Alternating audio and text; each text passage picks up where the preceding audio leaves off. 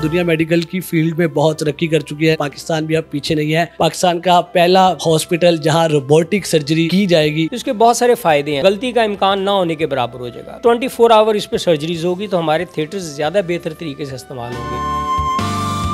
मियो hospital Lahore में मैं मौजूद हूँ और मेरे साथ मौजूद हैं प्रोफेसर फैसल मसूद साहब जो एम एस मियो हॉस्पिटल है। अस्सलाम वालेकुम सर। वालेकुम अस्सलाम जी।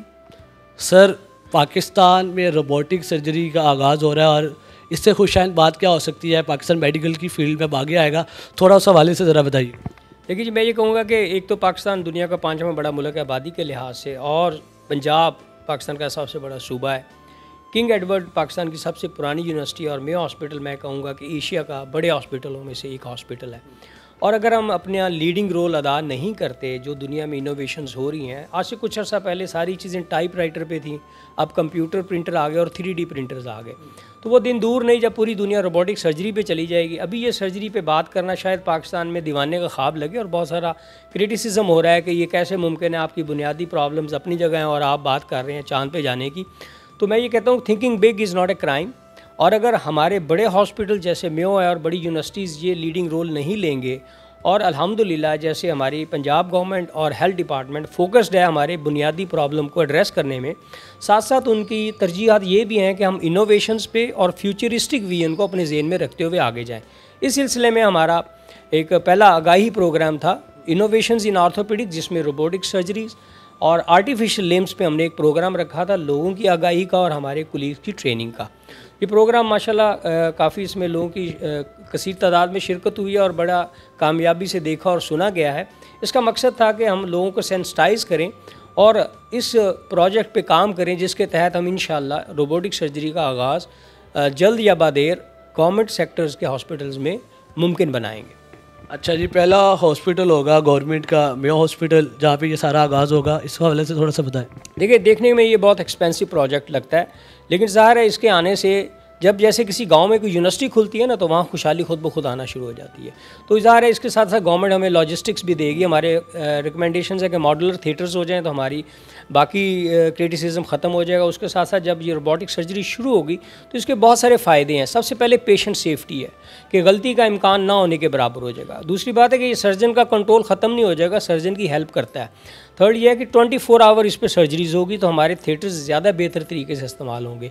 और जब हम लार्जर नंबर पर सर्जरी करेंगे तो ये पर सर्जरी कॉस्ट जस्टिफाई हो जाएगी जो अभी बहुत सारे लोग नाकदीन इस बात पे नुकताचीनी कर रहे हैं कि ये इतना एक्सपेंसिव प्रोजेक्ट बुनियादी मसाइल की साथ और बुनियादी वसाइल की कमी के साथ आप कैसे चलाएँगे? कितना एक्सपेंस है इसका? कितना महँगा है रोबोट कितने रोबोट मंगवाएँगे आप? ये ये एक रोबोट है क्योंकि रोबोट एक्सपेंसिव चीज़ होती है। अगर मतलब करोड़ों या अरबों में कहीं बात करें तो होता है लेकिन जितनी सर्जरी इसके साथ हो सकती हैं उस सर्जरीज़ को जब आप एंड में कैलकुलेट करेंगे तो शायद वो चंद हज़ार रुपये में आ जाए और जिससे आम पब्लिक मुस्तफ़ होगी क्योंकि हमारे आम शहरी का भी वही हक़ है बेहतरीन सहूलतें लेने का जो कि हमारी किसी अलीट क्लास का है। रोबोट एक ही होगा।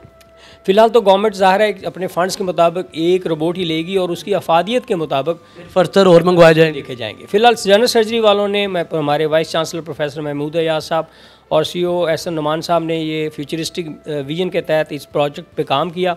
और मैं चूँकि खुद आर्थोपेडिक सर्जन हूँ तो हमने अब इस पर दूसरा प्रोजेक्ट भेजा है, जो कि इन इस पर कुछ वर्किंग होगी ज़ाहिर है, ये कोई आसान प्रोजेक्ट नहीं है, लेकिन हम डिटर्मेंड हैं कि हम इस बेहतरीन सहूलत को आम पब्लिक के लिए लाने में कामयाब होंगे। अच्छा आम पब्लिक एरिया के रोबोट से आने से मैन पावर डिग्रेड होगी। ऐसा कोई मामला तो नहीं होगा? जी देखिए ये इसके साथ एक टेक्नोलॉजी आएगी नई जॉब्स खुलेंगी थिएटर रेनोवेट होंगे। अभी एक चालीस अरब की रेनोवेशन हुई है मैं कहता हूँ इतनी लेबर इस पर आई है और सारे लोगों को रोज़गार मिला है और जायज़ रोज़गार मिला है और लोगों को बेहतर माहौल मिला। आप अभी हमारी एमरजेंसी में जाएँ किसी भी दुनिया की बड़ी एमरजेंसी के बराबर वो चल रही है। बुनियादी प्रॉब्लम्स हमारे हैं वो आहिस्ता आहिस्ता दूर हो रहे हैं और जिस तरह पंजाब गवर्नमेंट सीरीज़ है हेल्थ डिपार्टमेंट हमारी हेल्प कर रहा है तो हम इन मसाइल के ऊपर भी कामयाबी हासिल कर लेंगे रोबोट काम कैसे करेंगे? उनको कौन ऑपरेट करेगा? वो थोड़ा सा डिस्क्राइब कीजिए। क्योंकि वो कंपनी बेस्ड होता है, उनका ऑपरेटिंग सिस्टम होता है, जैसे आपका मॉडुलर थिएटर्स होते हैं, वो सारी चीज़ें कंप्यूटराइज होती हैं, और कंप्यूटर कंसोल कहते हैं, उसमें एक ऑपरेटिंग रूम होता है, वहाँ बैठता है सर्जन और रोबोट जो है ना, वो एक्चुअली सर्जरी परफॉर्म करता है, और सर्जन उसे कंट्रोल करता है। तो ये एक बायोलेटरल फिनमिना है, जिसमें कंप्यूटर गाइड करता है, और हमें वो परसियन मिलती है, जिससे गलती का इम्कान कम हो जाता है। इससे काम ज़्यादा तेज़ी से होगा या नॉर्मली है जी ज़्यादा तेज़ी से होगा क्योंकि इसकी रिक्वायरमेंट यही होती है कि 24 फोर आवर्स आपका ये काम करेगा तो इसकी कॉस्ट पूरी होती है और आम आदमी को इसका फ़ायदा होगा। अच्छा हमारी बड़ी भोली सी मासूम सी आवाम है ये तो बड़ी डरेगी कि ये रोबोट को लो सर्जरी वो नहीं करानी। तो फिर वो कैसे डील करेंगे? जो पहली सर्जरी करेगा उसी की हिम्मत होगी जो करवाएगा। वो कैसे आप डील करेंगे? आपको पता ही है कैसी शादी है वहाँ में देखिए अभी भी ज़ाहिर है अगर जैसे हम पहलवानों और जराहों के दौर से बाहर आए हैं तो एजुकेशन से ये काम मुमकिन है। हमारी पहले बर्थ कंट्रोल आम दाया के और उनके हाथों होती थी, अब हमारी गायनाकोलॉजिस्ट आ गई हैं। तो ये एवोल्यूशन है, हम भी इसमें इरतकाई अमल से गुजरेंगे रेजिस्टेंस आएगी क्रिटिसिज्म आएगा, लेकिन हमें इसमें चूँकि हमारी सोच मुस्बत है और एक हम लीडरशिप रोल अदा करना चाहते हैं तो मुझे उम्मीद है कि हम गवर्नमेंट की मदद के तहत आम पब्लिक के लिए ये कामयाब, कामयाबी हासिल करने में कामयाब अच्छा सर, मुझे बताइएगा किसी डॉक्टर से कोई हल्की सी भी गलती को ताही हो जाती है, पेशेंट का कुछ हो जाता है तो बड़े एहतजाज, हंगामे पता नहीं क्या कुछ हो जाता है। रोबोट से कोई मिस्टेक होगी तो ये ना हो कि करोड़ों रुपये लगा के रोबोट मंगवाया, फिर उस पर बैन लग जाए, कोर्ट मना कर दे जी कि इससे ऑपरेशन ना करें। तो ऐसा कुछ फर्थर आपने सोचा?